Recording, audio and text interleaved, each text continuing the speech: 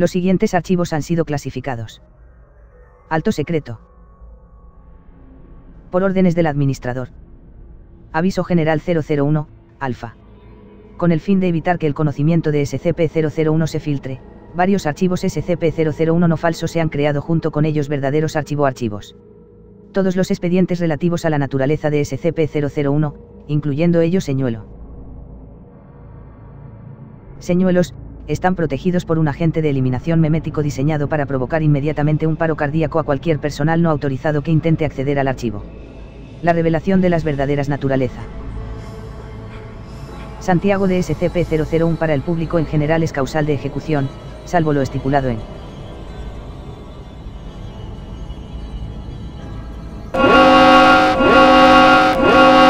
Aviso. Advertencia. Cualquier persona no autorizada que acceda a este archivo será eliminada de forma inmediata a través del agente de eliminación memético Berryman Langford. Solo el personal autorizado se inoculará de dicho agente. El desplazamiento hacia abajo sin inoculación apropiada provocará un paro cardíaco que conducirá a la muerte inmediata. Ha sido advertido.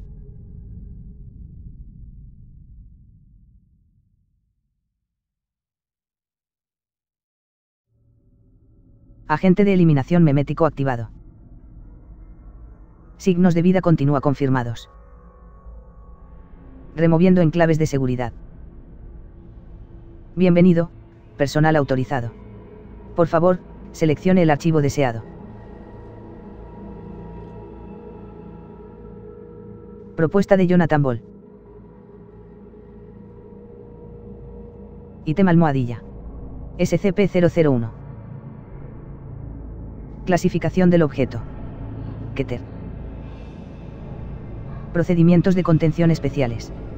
Hasta la fecha, ningún procedimiento de contención adecuada ha sido desarrollado para hacer frente a la posible amenaza que representa el SCP-001. Esto se debe, en parte, a la naturaleza controvertida del tema y debate sobre la necesidad de su contención. Esta controversia se refleja en el cambio de clase de objeto del artículo y los procedimientos utilizados en su contención. La actual administración, a pesar de las acusaciones de paranoia, ha clasificado al objeto como Keter, al tiempo que solicitó permiso para una clase de objeto más alto que se cree y se aplica únicamente a este tema, teniendo en cuenta que es el más peligroso de todos los elementos conocidos o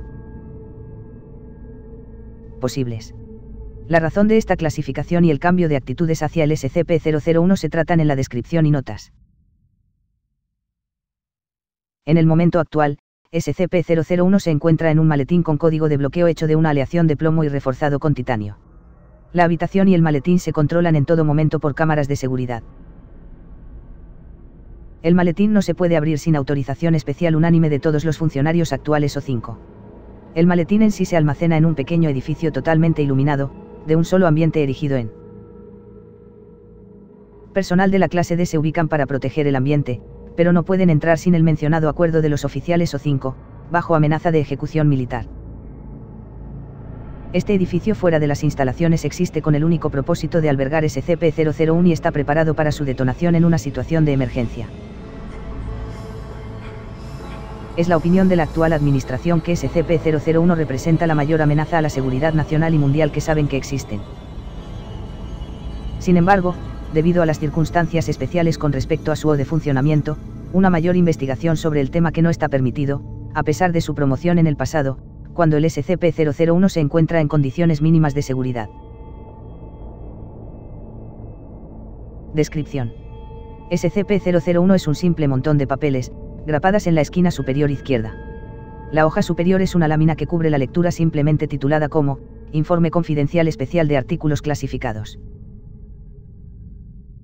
El número de trabajos posteriores grapados a esta hoja de presentación es indeterminada, y han oscilado desde 3 hasta 30. El informe está firmado y su origen es desconocido. La primera aparición de este informe fue en, cuando apareció en el escritorio de fallecido. El informe en ese momento describió el cuarto viviente SCP 002. Poco después de leer el informe con incredulidad, se puso en contacto por teléfono con respecto a dicho artículo.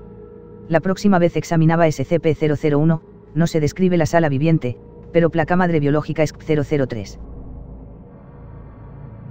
Cierra inmediatamente SCP-001, pensando que era un informe diferente, y buscó el informe original, el SCP-002.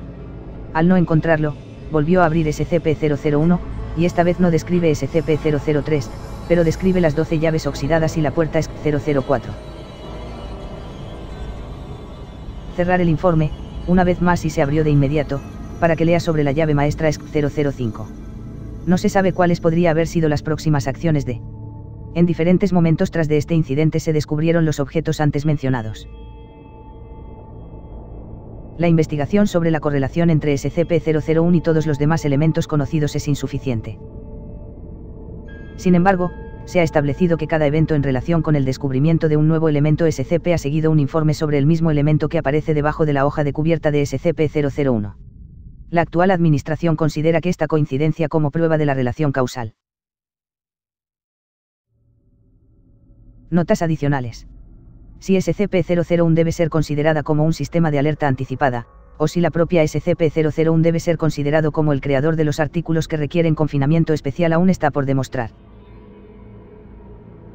Sin embargo, la distinción no es importante a los ojos de la actual administración.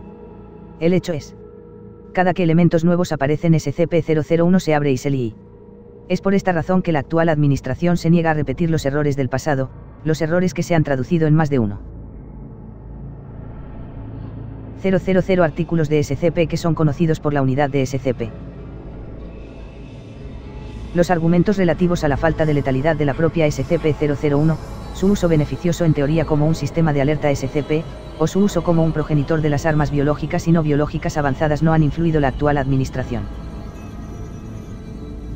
Tampoco han criticado los argumentos y los procedimientos de contención extremos empleados en relación con un elemento que no muestra características nefastas y no se animan como tal. A los críticos se les recuerda que estos procedimientos tienen por objeto no contener el elemento en sí, sino para aislarlo de la interacción humana, que ha de ser considerada como la verdadera amenaza. A pesar de la actual administración se niega a retirar el objeto del aislamiento salvo autorización especial como se señaló anteriormente, las administraciones pasadas han aconsejado a la consulta diaria con el artículo, y las futuras administraciones, sin duda, el abogado comportamiento similar.